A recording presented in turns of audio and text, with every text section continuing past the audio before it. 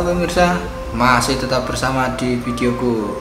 Oh ya, beberapa minggu yang lalu ada yang komen katanya kenapa kalau di HP jenis Android apabila koneksi menggunakan OTG adapter otomatis ada logo petir alias ngecas di HP-nya.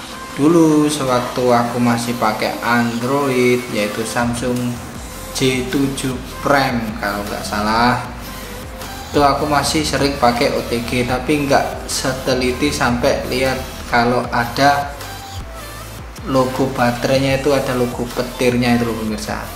Aku nggak sempet ngecas eh kok nggak sempet ngecas? Nggak sempet lihat.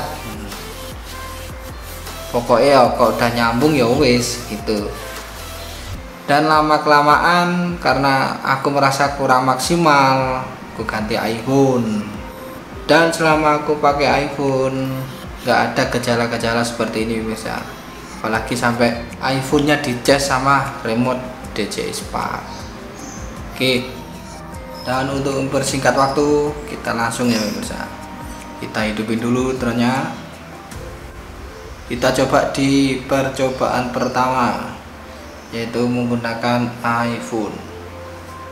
OTG adapter kemudian kabel data kita coba di iPhone. Aku pakai iPhone 6 saja.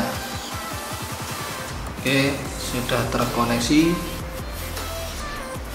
Oke, kita lihat baterainya indikator baterai. 32% besar indikator baterai 32% dan tidak ada logo petir alias ngecas kali ini percobaan kedua. Kita pakai kabel data. Seperti biasa langsung kita ganti kabel datanya dan koneksi ke Samsung Prime 7 7J apa ibu pemirsa kayak Samsung gitu aja ya. Oke biasa sudah terkoneksi kita lihat.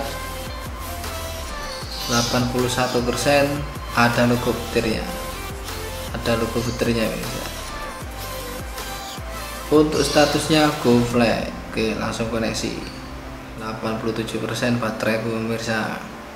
Kita cek lagi tetap pemirsa. Tetap ngecas. Oke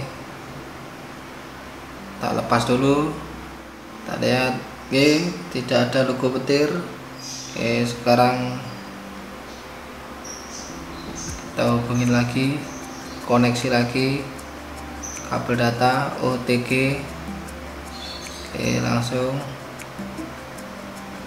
kita cek lagi. Ya just pemirsa. 81% ada logo petir dan jenis cas kabel Samsung J7 Prime itu masih USB tipe B pemirsa. Bukan tipe C. Kalau tipe C kan bolak balik kayak iPhone itu. Masangnya bolak balik tetap bisa ngecas tapi kalau tipe B kan nggak bisa harus satu macam satu bentuk. Yang terakhir nih pemirsa sebelum aku akhiri video ini mungkin saranku apabila masih bertahan dengan menggunakan HP Android jangan terlalu cemas dan khawatir.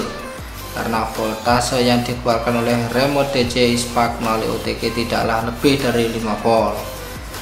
Karena bagaimana mungkin daya cas remote-nya cuma 3,7 volt tapi masuk ke HP lebih dari itu.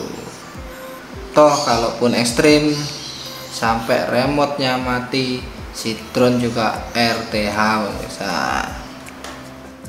Oke sampai di sini dulu ya pemirsa. Kita lanjut di sharing kolom komen. Sampai jumpa